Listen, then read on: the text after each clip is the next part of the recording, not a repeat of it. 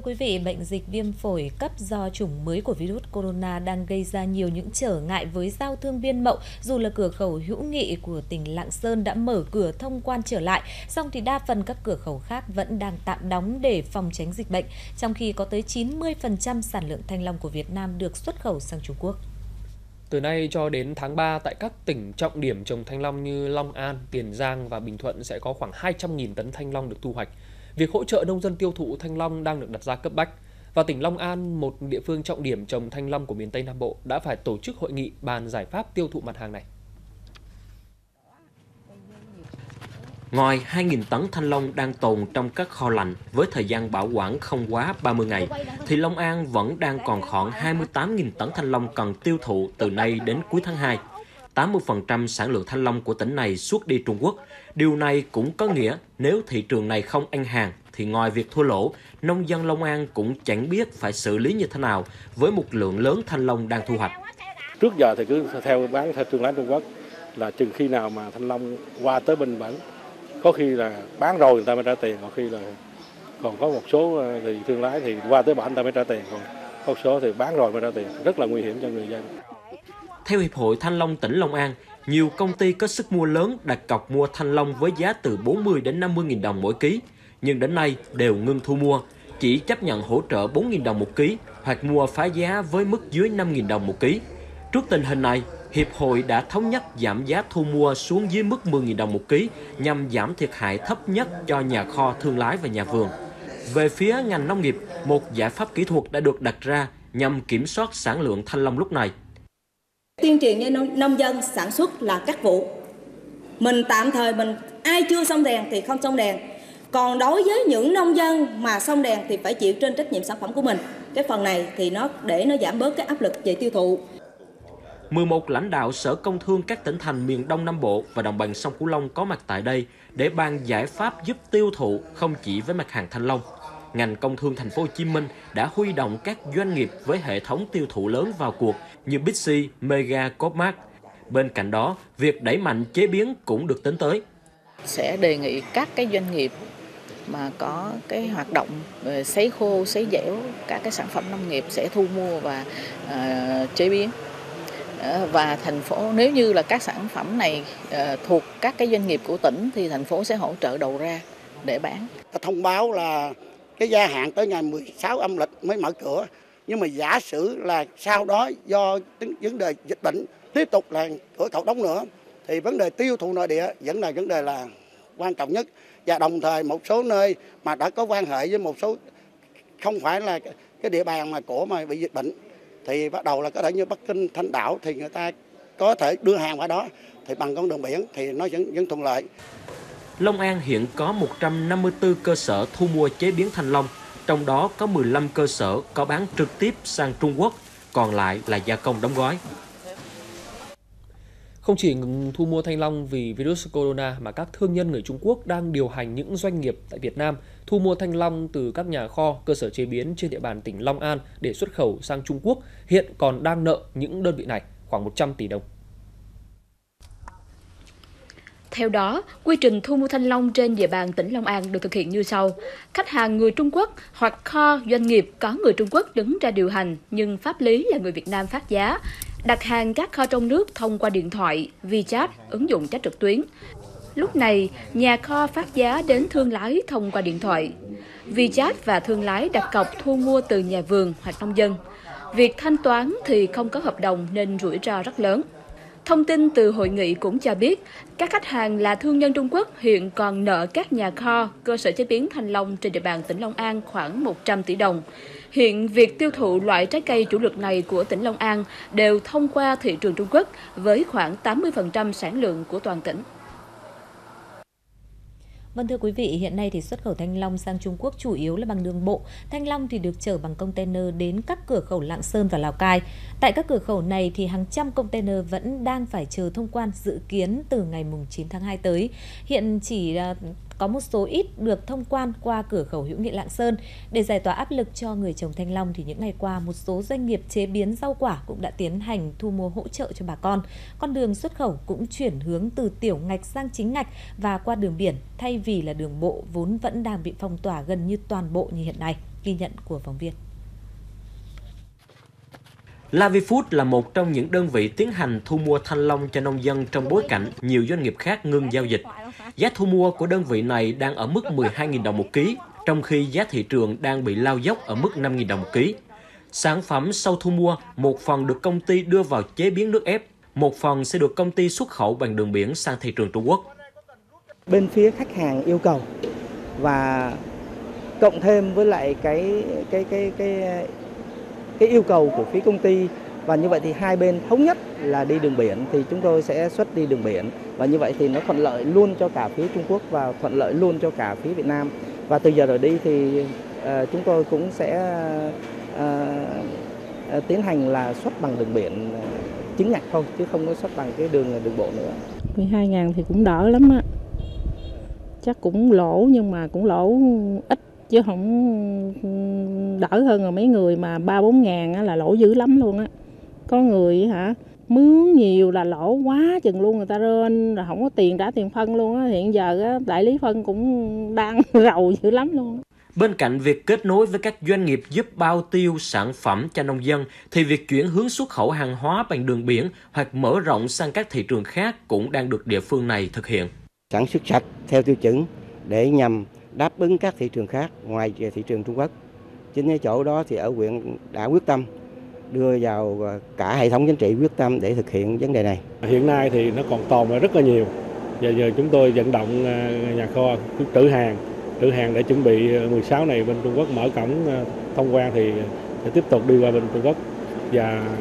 kiến nghị với ở các, các các bộ ngành cấp trên thì sẽ hỗ trợ cho các nhà kho về cái um, cái ngân giải pháp ngân hàng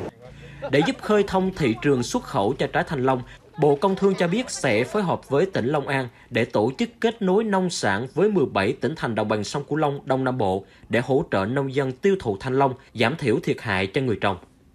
Thưa quý vị, giá nhiều loại trái cây như là thanh long, dưa hấu, chôm chôm chỉ còn 2.000 tới 3.000 đồng một kg mà vẫn không thể tiêu thụ được ngay trong vụ thu hoạch rộ. Đây chính là hậu quả do virus corona chủng mới gây ra xuất hiện tại thành phố Vũ Hán, tỉnh Hồ Bắc Trung Quốc từ tháng 12 năm 2019. Đến nay chỉ trong vòng hơn 2 tháng, dịch bệnh do virus corona chủng mới gây ra đã làm chết hàng trăm người, cùng với đó là hàng chục nghìn người bị nhiễm bệnh. Tính đến thời điểm hiện tại thì dịch bệnh này đã lây lan ra gần 30 quốc gia và vùng lãnh thổ.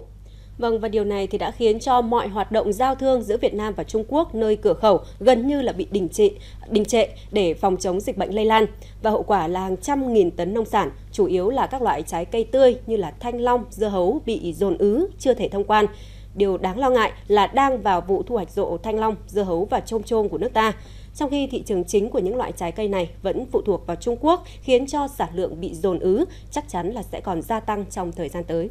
Vâng, không có đầu ra, Giá của nhiều loại trái cây đã đồng đồng loạt giảm sâu, chỉ còn vài nghìn đồng một kg. Doanh nghiệp thì hủy hợp đồng, nông dân thì như ngồi trên đống lửa khi sinh kế bị đe dọa. Điều này đã khiến kim ngạch xuất khẩu của nhóm nông lâm thủy sản tháng đầu tiên của năm 2020 đã giảm tới gần 19% so với cùng kỳ năm ngoái. Trong tiểu mục theo dòng thời sự ngày hôm nay, chúng ta sẽ cùng phân tích về những giải pháp cấp bách đang được triển khai để có thể giải phóng nhanh nhất có thể nông sản đang bị ứ động cho bà con nông dân. Báo cáo của Bộ Nông nghiệp và Phát triển Nông thôn cho thấy, chỉ tính riêng trái thanh long sẽ có ít nhất khoảng 200.000 tấn dự kiến sẽ được thu hoạch từ ngày 8 tháng 2 đến đầu tháng 3 tới. Hiện hầu hết các hợp đồng tiêu thụ thanh long của các doanh nghiệp với người nông dân đã bị hủy bỏ khiến cho lượng tồn kho lớn, giá giảm sâu. Đến nay thì ờ,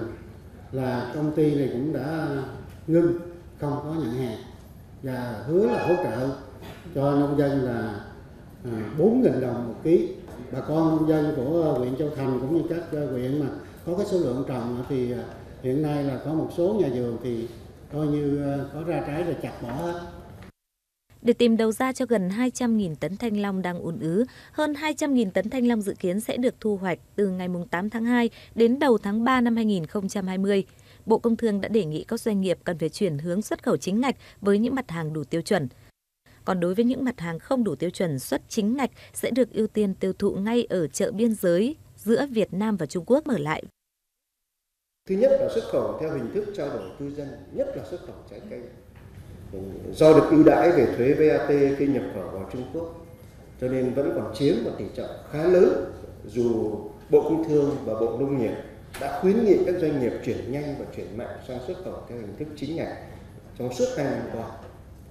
Thì với sản phẩm được làm ra để xuất khẩu theo hình thức trao đổi cư dân như vậy thì chỉ còn cách chờ chợ biên giới mở cửa trở lại.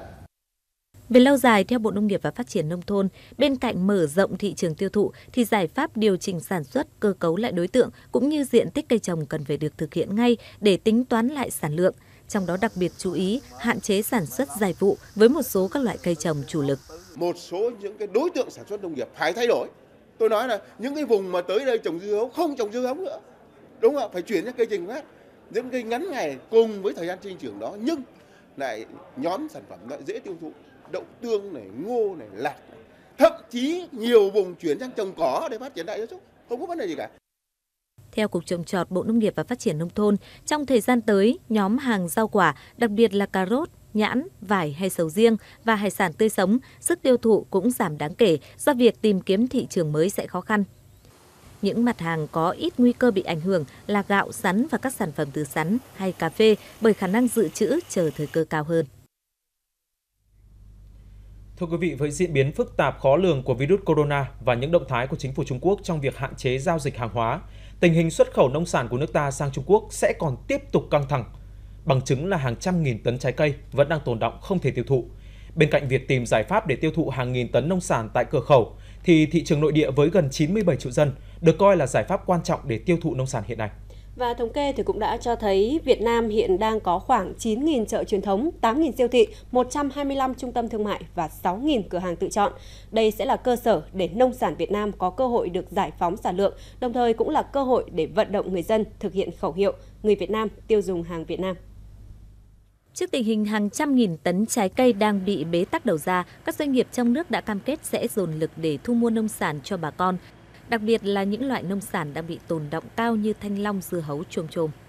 Chúng tôi cũng đề nghị với Bộ Công Thương cũng như là Bộ Nông nghiệp Phát triển Nông thôn thì có thể cho chúng tôi cái danh sách những cái sản phẩm mà có khả năng bị tồn động uh, ờ, cũng như là cái sản lượng dự kiến.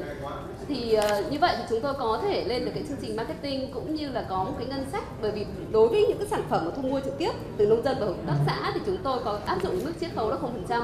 Trong bối cảnh này thì chúng tôi sẽ tăng cường thêm, chúng tôi sẽ có các cái biện pháp triển khai sẽ làm việc với các cái địa phương và các hiệp hội để tăng cường thu mua các cái nông sản, đặc biệt là những nông sản đang bị ứ động ở biên giới không xuất được sang Trung Quốc để tăng cường tiêu thụ tại hệ thống thương mại nội địa của uh, tổng ty tại Hà Nội và các tỉnh để hỗ trợ nông dân tiêu thụ sản phẩm. Theo các chuyên gia, bên cạnh việc tăng cường thu mua thì các doanh nghiệp cũng cần phải thực hiện các chính sách hạ giá bán tối đa để kích cầu tiêu dùng. Những chính sách về giá, về vấn đề thanh toán, rồi những cái điều kiện châm trước về mặt chất lượng hàng hóa rồi chứng từ giao nhận các thứ? Bởi vì bây giờ mà trẻ ra các cái tiêu chuẩn thì rất khó. Mà thì thì cái này là chúng ta không thể cứng nhắc như như cái thời thời bình thường được. Bên cạnh việc tăng cường tiêu thụ nông sản tại thị trường nội địa, các doanh nghiệp chế biến nông sản cũng cho biết sẽ tăng cường thu mua để bảo quản, dự trữ lạnh để giảm bớt áp lực về sản lượng. Đối với những loại nông sản đủ tiêu chuẩn xuất khẩu sẽ tăng cường công suất chế biến sâu bởi nhu cầu thế giới là rất lớn. Đến ngay bây giờ, khách hàng châu Âu, khách hàng Israel vẫn sang đánh giá nhà máy bình thường và là là đăng ký mua rất lớn cái khối lượng đồ hộp đông lạnh và xuất khẩu nếu làm đúng quy trình kỹ thuật. Kể cả khách hàng Nhật Bản về ngô ngô rau, đậu tương rau, rau chân vịt và Tuy nhiên thì cái thanh long thì cũng là một vấn đề đặt ra để chúng ta tập trung các doanh nghiệp cũng sẽ cố gắng sản xuất lạnh nhiều hơn nữa. Một trong những cái xu hướng nổi lên của thị trường Trung Quốc đó là nhu cầu các sản phẩm về sấy dẻo, sấy khô. Đây là những cái mà chúng ta cũng cần phải khoét sâu. Trên thực tế chúng ta có những cái doanh nghiệp hàng đầu Việt Nam chẳng hạn như là Vinamit à, là một cái doanh nghiệp đã xuất khẩu các sản phẩm từ mít sấy khô sang ờ, Hoa Kỳ và kể cả thị trường Trung Quốc đi vào từng cái chuỗi à, siêu thị của Trung Quốc. Một là rất là tiện dụng, hai là rất là gọn, ba là giải quyết những cái vấn đề kể cả về vấn đề mà uh, dinh dưỡng hàng ngày. Về lâu dài, Hiệp hội Rau quả Việt Nam cho biết đang tổ chức nhiều đoàn doanh nghiệp đi xúc tiến giao thương tại Đức, Ấn Độ và Nhật Bản với hy vọng sẽ mở rộng được thị trường tiêu thụ nông sản, đặc biệt là trái cây trong thời gian tới.